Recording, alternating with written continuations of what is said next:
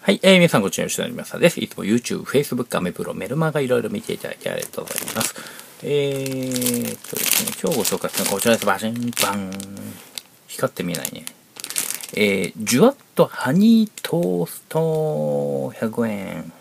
砂糖が飴状になり、硬い部分がありますのでご注意くださいと。これ全部に書いてあるんですかね。なるほど。飴状になり、硬い部分さあ、じゃあ、行ってみたいと思います。飴状になり硬い部分があります。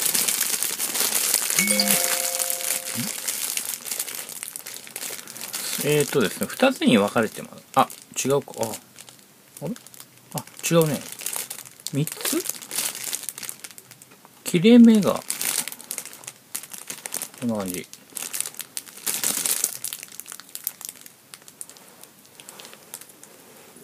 いしょ切った。落ちた。うんさっくり美味しい。うんなんか美味しそう。いただきます。うん。うま。うま。うま。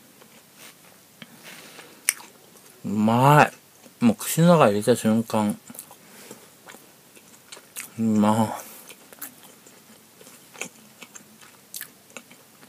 飴状になってて硬くてももう問題ないですね。ていうかあんまそうは感じないけど今のとこ。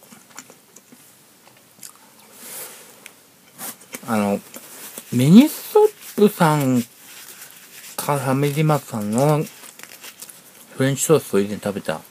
レビューした記憶があるんですけど、あれうまいなと思ったんですけど、ミニストップさんかな？うん、あれ、うーん、あの、味覚えてないですけどね、あれ以上っていうかなんかすごい、うまい。うん、フレンチトースト、これでしっかりですね。味付けしちゃうと、ここまでうまいのかっていうことですよね。砂糖使いまくってんでしょうね。だから砂糖使いまくっちゃうから、飴状になっちゃって硬い部分になっちゃってるっていうことなんですけど、全然問題ないですね。じわっとってこと、ネーミングもいいね。素晴らしい。うまい。もうとにかくうまいとしか言いようがないですね。ということで、ありがとうございました。今日ご紹介いたしましたのは、ジュワッ、あ、セブンアイさんのですね、えー、ジュワッとハニートースト105円でございました。ありがとうございました。